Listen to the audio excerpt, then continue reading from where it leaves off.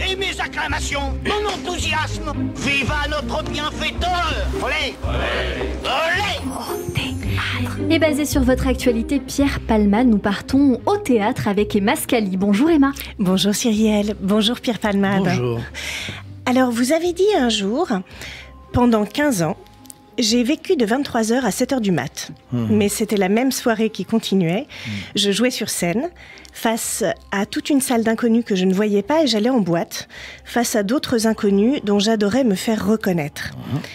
Aujourd'hui, si je veux aller vers les autres, au lieu d'aller en boîte, je vais à un dîner. Eh ben, étant donné ces mots sur le dîner et votre actualité liée au grand restaurant, moi, dans cette chronique théâtre aujourd'hui, puisque je dois parler théâtre, j'avais envie de parler de deux pièces majeures du répertoire contemporain qui se déroulent toutes les deux en temps réel au cours d'un dîner. Alors la première pièce, c'est le souper de Jean-Claude Briseville qui se joue au théâtre très très régulièrement. Il y a une version, je crois, de Daniel Mesguich cette année, je crois. Oui, tout à fait, et elle sera probablement reprise à la saison prochaine. Et puis il y a une deuxième pièce dont je voulais vous parler, euh, c'est le repas des fauves de Vaïkacha, parce que la pièce va se jouer dès le 8 janvier prochain au théâtre Montmartre Galabru, tous les dimanches soirs à 20h, dans une mise en scène de Banon Bascou et de Christophe Blézère. Alors Emma, Oui, le repas des fauves, je crois que c'est une création qui, qui avait été faite il y, a, il y a longtemps.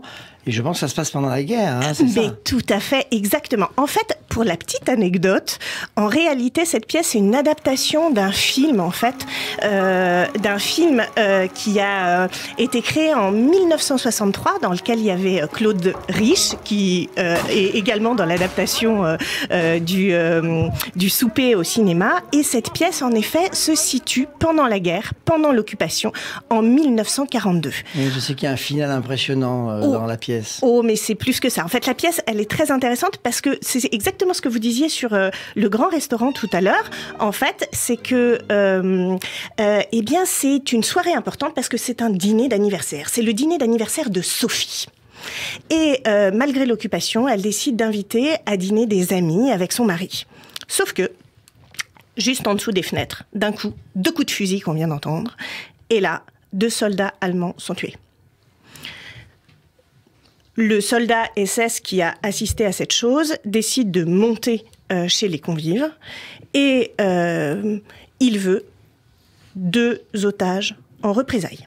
D'accord. Sauf que il reconnaît le mari de Sophie qui s'appelle Victor. Oui. Ok. Et là, il se dit Oh, mais c'est mon petit français préféré, celui-là. Euh, c'est un libraire que j'aime bien. Hmm, je vais vous faire une petite faveur, un petit privilège. Euh, je ne viendrai chercher les deux otages qui seront tués qu'à la fin du dîner. Et je vous laisse la possibilité de choisir entre les convives. D'accord. En sachant que les, les deux vrais, enfin les, les vrais auteurs de- des Oh. assassinats sont partis, eux. Exactement. Ils sont pas dans la soirée. Ils sont pas dans le C'est de dîner. toute façon deux innocents qu'on va choisir. Mais exactement, on va choisir deux innocents et on demande aux gens, à leurs amis en fait, de choisir entre eux qui est-ce qu'on va tuer. C'est ça en fait l'idée. Et cette Eh ben. pièce, elle est pas très très très très gaie évidemment. Elle nous interroge Non, mais finalement. c'est- tendu, quoi. Ça doit être un suspense haletant. Eh bien, C'est très très tendu. Il y a un côté un peu thriller en fait hein, euh, euh, dans la pièce. Et puis ça vient nous interroger en fait sur notre éthique personnelle. Finalement, euh, c'est quoi euh, collaborer? C'est quoi euh, euh, s'ériger en fait? Oui, Euh, se sacrifier, peut-être. Exactement, se sacrifier, euh, euh, s'engager, finalement, ça implique euh, le spectateur non pas comme un juge, mais plutôt comme un acteur où on l'interroge un petit peu sur ce qui se passerait s'il était face à cette histoire, un petit peu comme dans le film Le choix de Sophie euh, avec Meryl Streep. Beaucoup de films et de pièces qui parlent de cette période-là euh, nous interpellent parce qu'on se demande, comme la chanson de Jean-Jacques Goldman, euh, né en 17 à Heidenstadt, ce Exactement. qu'on aurait fait. Exactement. Et, et, et cette pièce-là, donc, elle est reprise, euh, elle est reprise à, à la rentrée là au théâtre Montmartre Galabru. Et ce que je trouve intéressant dans cette pièce, comme dans le souper euh, euh, de Briseville, c'est qu'en fait, ça se passe en temps réel. C'est-à-dire que on Ok. est au cours d'un dîner, au cours d'une soirée. Unité Et- de temps. Exactement. Unité de temps, unité d'action, un petit peu comme dans le théâtre. unité de lieu, donc.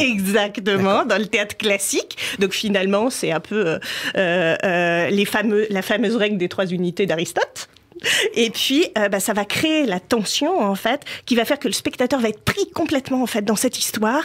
Et il va se poser la question, bah, qu'est-ce qui se passe à la fin?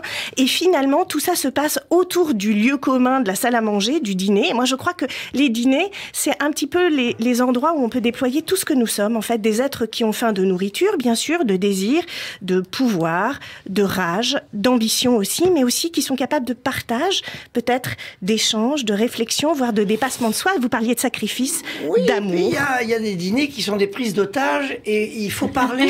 C'est vrai. Non, mais Surtout pendant les fêtes. Non, mais sans jeu de mots, oui. Enfin, sans, sans allusion à votre pièce. Mais bien Sans- sûr, vous avez donc, raison. On, on va parler et, mine de rien, inconsciemment, pensant dire euh, des choses superficielles, on va des fois dire des choses qui, inconsciemment, en disent long sur vous, quoi. Et oui. Euh, Il y a des gens qui se démasquent pensant parler de la météo et euh, ça bascule sur ce qu'ils aiment et ce qu'ils aiment pas. Et ce qui est très drôle, c'est de, de voir combien de temps un dîner met avant que ça bascule dans la médisance. Parce que généralement, vrai. c'est j'aime pas ça, j'aime pas lui, j'aime pas... C'est je, vrai. je me dis à chaque fois combien de temps, dans combien de temps on va dire du mal de quelqu'un. Mon. Dieu, c'est terrible. Mais, et donc, Et le repas, généralement, ça dure pas longtemps. Mais vous voyez, le repas des fauves, c'est exactement ça le sujet. En fait, c'est à quel moment, en fait, notre ami devient notre ennemi d'une certaine façon. Et finalement, juste pour terminer euh, cette euh, chronique, eh ben, euh, pour rebondir sur ce que vous venez de dire, euh, je ne sais pas si vous savez ce qu'est un gastrosophe, Pierre Palmade. Est-ce que vous savez Non, un Eh ben, philosophe, oui, un gastronome, oui, eh ben, mais... eh ben, vous n'êtes pas loin. Gastrosophe, c'est un philosophe du goût. Et en fait, il y a un philosophe du goût qui s'appelle Jean-Anthelme Bria-Savarin qui a dit cette phrase. Et je crois que ça résume bien un peu tout ce qu'on vient de dire et tout ce que vous venez de dire sur le dîner. Et j'ai envie de vous dire ça, euh, Cyrielle et Pierre.